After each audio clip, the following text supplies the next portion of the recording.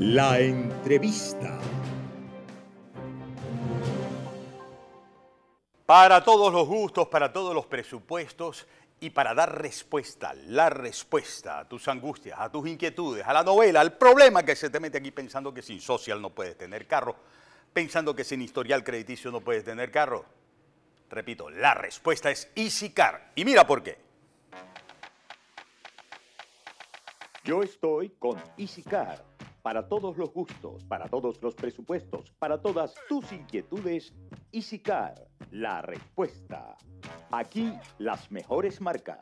Toyota, Honda, Hyundai, Kia, Chevrolet. Aquí lo mejor en económicos, sedán, SUV y camionetas. En EasyCar entras caminando y sales manejando, con o sin social. Basta con el pasaporte, con buen crédito o mal crédito. Basta tener una cuenta bancaria. Aquí te financiamos tu vehículo porque para todos los gustos, para todos los presupuestos, para todas tus inquietudes, EasyCar. Aquí entras caminando y sales manejando. EasyCar, la respuesta. Sí, señores. Yo dije lo de gran cipote, refiriéndome a una pila de gran cipote, ¿no? grandes cipotes, pero creo que me quedé corto. Y le pedí a Alexis, ajá Alexis, ¿cómo es la cosa de gran cipote? ¿La tienes? Sí, eh, según pero la RAE... No te oigo, no te oigo, está, está, está saliendo al aire, está saliendo al aire. Sí, a ver, según adelante. la RAE dice, término 1, mojón de piedra, 2, hombre torpe, sonso bobo, 3, hombre grueso, rechoncho... Ya, ya, va, ya, ya, ya espérate.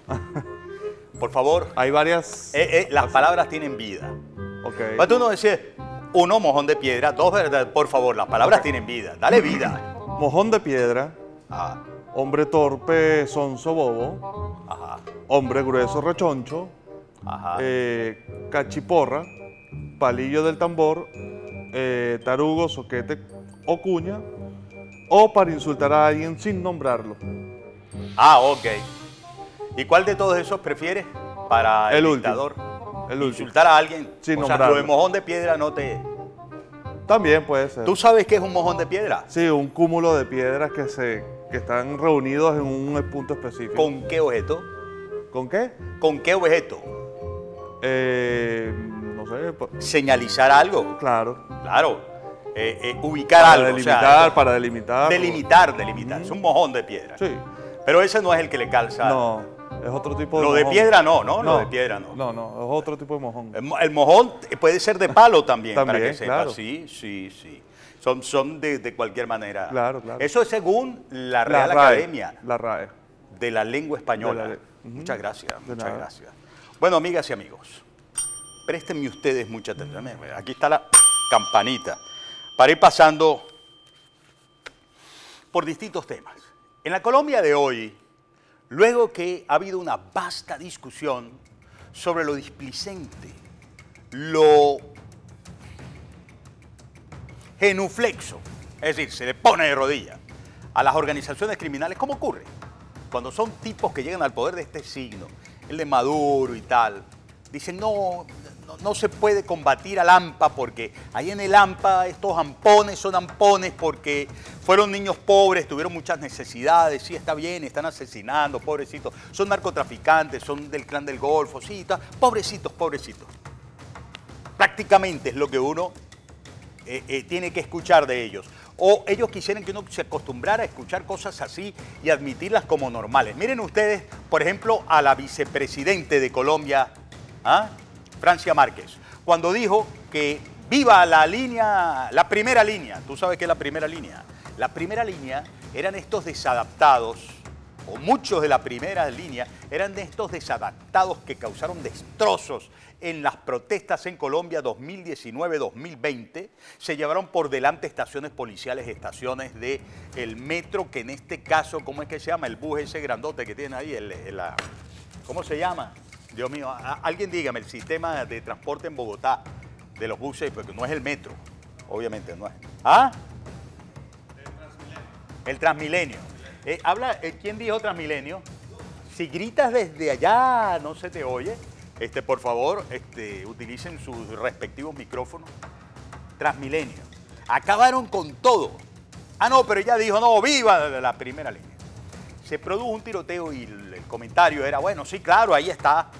Ahora, eh, Ailán Panda, sus anchas. Parece que no fue de esta, digamos, de este perfil lo ocurrido en el famoso centro comercial Unicentro en Bogotá.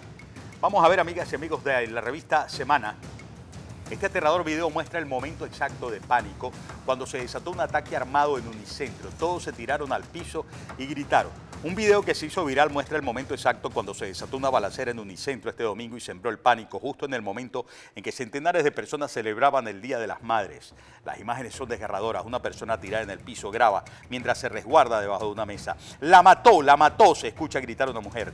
La cámara sigue enfocando al hombre con el arma. Mientras tanto, delante de la mesa una pareja está boca abajo.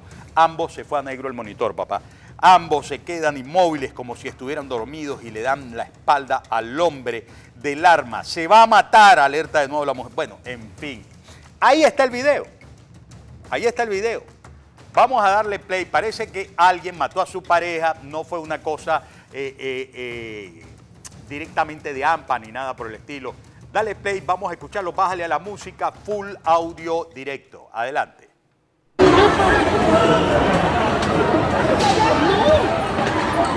¡La mató! ¡Marica! ¡La mató! ¡No, no, no! ¡Huevón! ¡La mató, huevón! ¡Sí! ¡Se va a matar! No, no, no. ¡Se mató! ¡Se mató! ¡Se mató! ¡Se mató! ¡Maricas! ¡Se mató! ¡Se mató, huevón! ¡Se mató! ¡Marica, se mató! ¡Marica, se mató! La mató y luego se mató. Este fue el evento de la tarde de este viernes. Se está yendo esto. Alexis, préstame atención, por favor. Esto, voy a ver los, los, los conectores, ¿no? Está, pero tremendamente ido a tal. Bueno, bueno, bueno. Y todo esto corrió bajo el rótulo en las primeras horas de que eran bandas armadas actuando en Unicentro. Pero ¿por qué hay ese sentimiento? Porque las bandas armadas andan a sus anchas, enseñoreadas, exigiendo para las negociaciones de paz, gritándole como le hizo al Ejército de Liberación Nacional a Gustavo Petro. Mire, sea serio, díganos si es de verdad esto que usted está planteando, porque es que estos tipos negocian lo que les conviene, lo que no les conviene no lo negocian. Y si negocian lo que no les conviene, a fin de cuentas lo traicionan. Vamos a ver esto que es extremadamente importante. Primero, de un tuit de Nickmer Evans, vamos a comenzar a hacer referencia, óiganme ustedes, a una balacera que hubo la madrugada del domingo en la frontera entre el estado Táchira y norte de Santander en Colombia, donde resultaron abatidas tres personas, entiendo. ¿Ah? Vamos a ver el, el tuit de Nickmer Evans, por favor, adelante. Pero bueno, bueno, en algún momento lo leeré. ¿Por dónde lo leo? 25 años, dice Nick Merevas, para admitir lo que todos sabemos. El país está tomado por ejércitos extranjeros y bandas criminales transnacionales. Seguro es culpa de las sanciones, dice con cierto cinismo sorna Nick Merevas. Freddy Bernal admite que el Ejército de Liberación Nacional, disidencias de la FARC y el Clan del Golfo operan en Venezuela. ¿Y a qué se refiere? Pues se refiere a lo que, vamos ahora a la cuenta de reporte ya, en un video el propio gobernador, este que se supone adquirió la mina de oro como protector del Táchira y no presentó cuentas de las minas de oro que repartieron en el año 2019, terminó explicando sobre esta situación de enfrentamiento en la frontera colombo-venezolana, por allá entre Táchira y norte de Santander. El gobernador Freddy Bernal informó que la madrugada de este domingo fueron neutralizados tres personas implicadas en el ataque perpetrado hace una semana contra un comercio en el municipio Pedro María Ureña. Recuerden ustedes que tiraron ahí este, granadas. Pues bien, dale play y escúchenlo. A ver. Nos encontramos aquí en la margen del río Táchira, del lado de Venezuela. Como ustedes pueden ver, ya esas viviendas son en la República de Colombia. Específicamente, de ese allá, está el desarrollo del barrio El Escobal, barrio donde lamentablemente subsisten una serie de grupos paramilitares, como el cartel del Golfo, la línea y grupos criminales delincuenciales como el tren de Aragua. Desde ese lugar han pretendido dañar la paz y tranquilidad de la frontera, especialmente en Ureña. Y por ello, con el señor general, comandante Razoy Martínez Campo, hemos desplegado un operativo denominado Frontera Segura. General, ¿cuántos hombres tenemos y qué estamos haciendo en esta zona de frontera? En el marco de la operación Cacique Morachí, que es parte de la operación Escudo Bolivariano ordenada por nuestro comandante jefe, aquí estamos haciendo un plan operativo especial, como usted bien dijo, frontera de paz, frontera segura, en donde estamos desplegando 1.350 efectivos de la Fuerza Armada Nacional Bolivariana, los organismos de seguridad ciudadana y los organismos de inteligencia, eh, concatenando toda una serie de actividades y estrategias para dar con grupos delincuenciales que han querido perturbar la paz de esta importante línea fronteriza. Sí, bueno, en ese orden, esta madrugada hubo un enfrentamiento con un grupo criminal, le lanzaron una granada al DCDO y el grupo de antiterrorismo de la Policía Nacional Bolivariana, se respondió en consecuencia, han sido neutralizados tres individuos de alta peligrosidad, uno de nacionalidad colombiana, dos venezolanos, los tres implicados en el atentado terrorista del sábado pasado, cuando lanzaron una granada y, se, produjeron ocho heridos. En el intercambio se observó unos tres o cuatro indi- individuos más que se fueron hacia la zona montañosa. Estamos rastreando la zona de esta mañana y les garantizo que la paz y la soberanía en esta zona no se negocia, se ejerce con la fuerza de la Constitución y la paz. Ajá, muy bien, muy bien. En estos tiempos signados por conocer historias de guerras entre mafias, yo quisiera saber por qué ese señor solamente menciona a integrantes del cartel del Golfo, de la línea y del tren de Aragua. ¿Y por qué deja por fuera al Ejército de Liberación Nacional, a las Fuerzas Armadas Revolucionarias de Colombia y a otros grupos guerrilleros? ¿Será porque corresponde defender los intereses en la zona de los grupos guerrilleros? Me lo pregunto, como antes correspondió en el Estado Apure también defender desgraciadamente, desviando su compromiso, su juramento constitucional a efectivos de la Fuerza Armada Nacional, los intereses, por ejemplo, de Iván Márquez y de Jesús Santrich, Jesús Santrich contra Gentil Duarte, es decir, narcoguerrillas contra otras facciones de las narcoguerrillas. 20 estados inoculados por grupos irregulares, narcoirregulares. No importa si son paramilitares o guerrilleros, son grupos delincuenciales. Y la guerra de mafias es lo que queda patente en todo esto. Y me pregunto, ¿cuántos días más privados de libertad quien responsablemente cometió, entre comillas, el pecado de solicitar una averiguación? Me refiero a Javier Tarazona, director de Funda Redes porque lo que admitió, lo admitió. Tarde piaste, pajarito, y no logras encubrir lo que realmente está sucediendo ahí.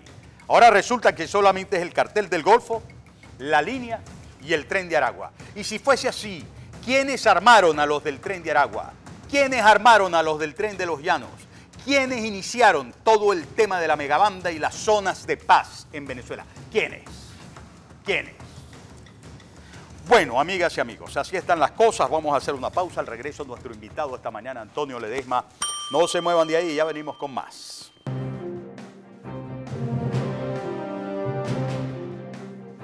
La entrevista.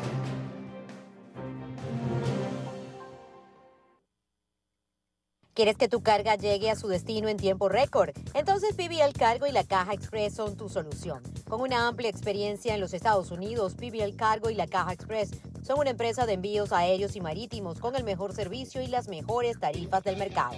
No solo te garantizamos que tu envío llegará a Venezuela o a cualquier país de Latinoamérica en tiempo previsto, sino que te ofrecemos el rastreo del tracking de tu carga para que puedas seguir minuto a minuto. Con sede en Miami, Atlanta y Orlando en PBL Cargo y la Caja Express, te Te atendemos de lunes a viernes de 9 de la mañana a 5 de la tarde y hasta un personal shopper tenemos para ti. Visítanos www.pblcargo.com, www.lacajaexpress.us o comunícate al 786-678-5544 y aprovecha nuestro servicio de puerta a puerta. PBL Cargo y la Caja Express. Envía con los expertos.